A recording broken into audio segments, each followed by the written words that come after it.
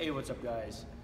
So we're to start uh, shooting a few videos for you that is to delve a little bit more into the science side of things. Um, a really great uh, journal that just came out called the Mass Journal, um, and it's really digging into kind of the relevant science that's out there on hypertrophy, um, you know, aesthetic-based stuff, and you know, more bodybuilding, but strength strength performance as well and it's not putting out the, the studies, uh, but it's dissecting some of these studies so uh, it's a little easier to digest uh, in more what we call like layman's terms, but it does break down the science of it. So what I'm going to do is just pick some of the um, more interesting uh, articles that, that are out there that you know I go digging th through the internet for. Um, they did a great job of compiling this stuff. It's a monthly journal.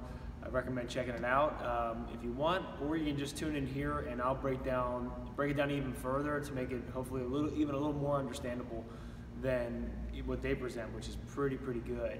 Uh, so this week, um, I want to get into a pretty awesome study that essentially um, analyzed a few different things.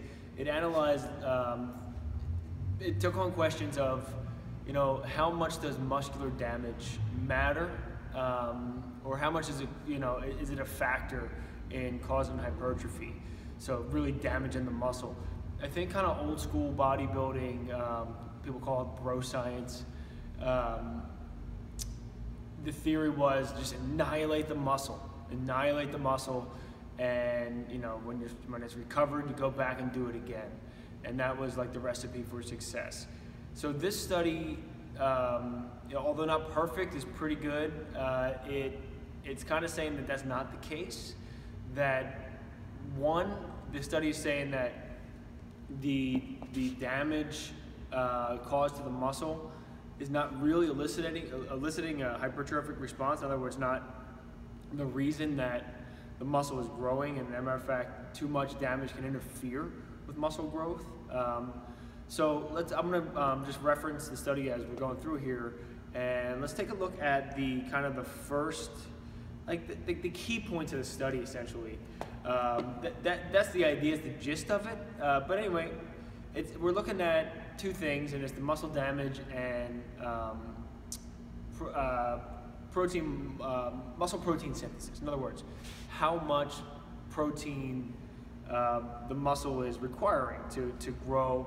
And that's what happens when you damage the muscle. Um, it, it, at least we, that's what we thought happened, and it, and it is true. It's what happens uh, according to this study as well.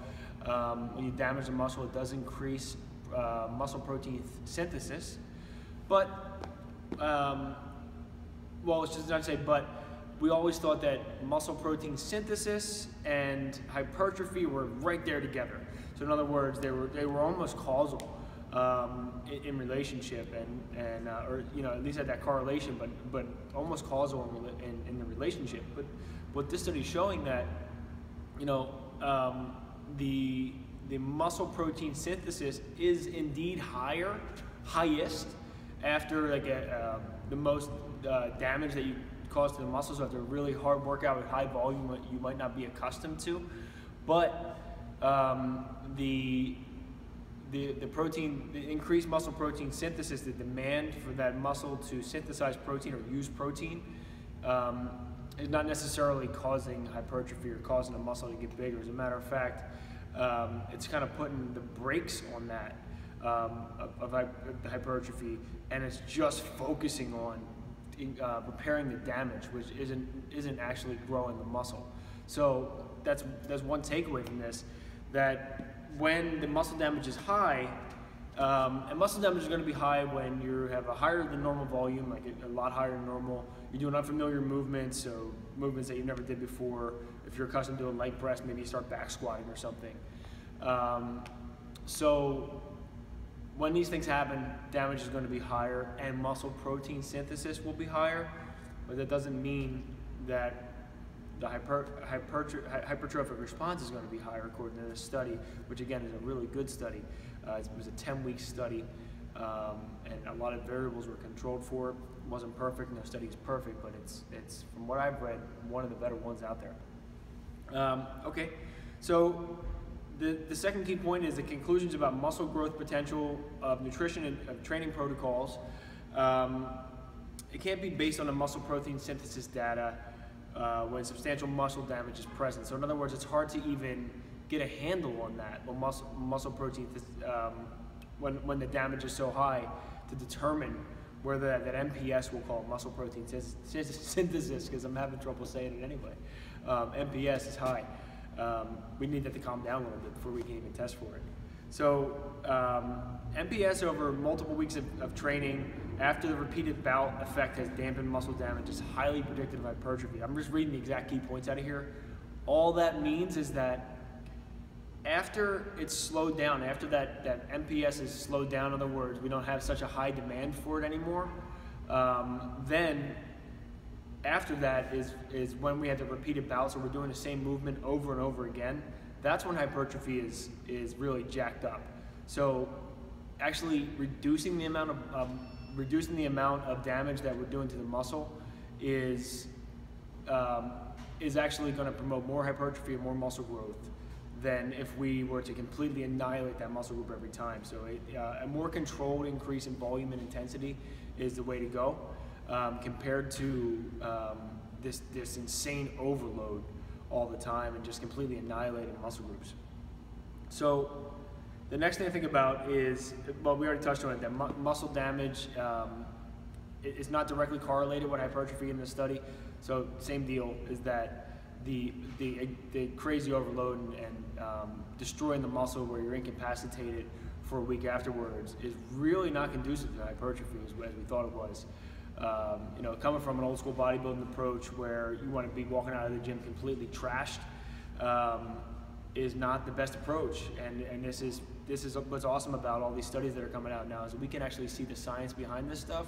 It's not anecdotal anymore.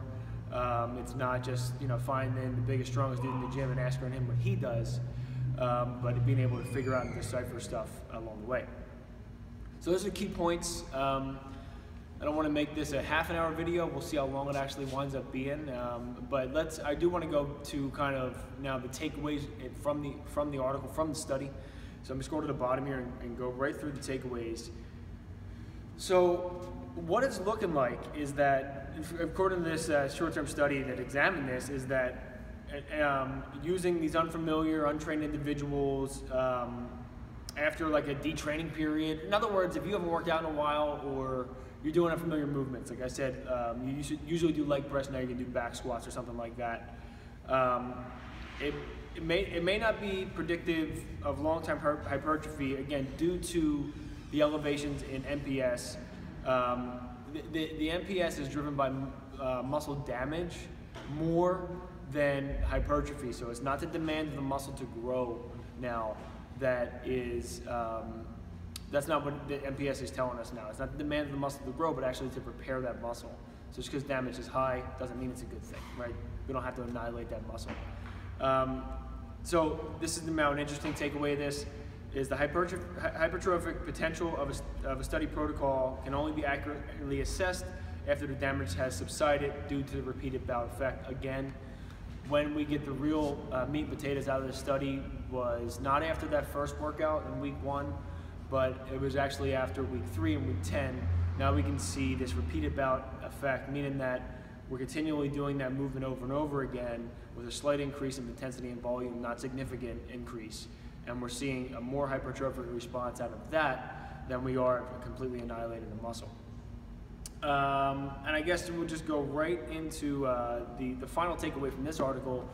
Uh, it's all the same stuff, but to avoid a detrimental effect of excessive muscle damage, the, the, the idea is to gradually acclimate yourself to a higher level of volume and intensity um, as needed to progress, so in an incremental fashion.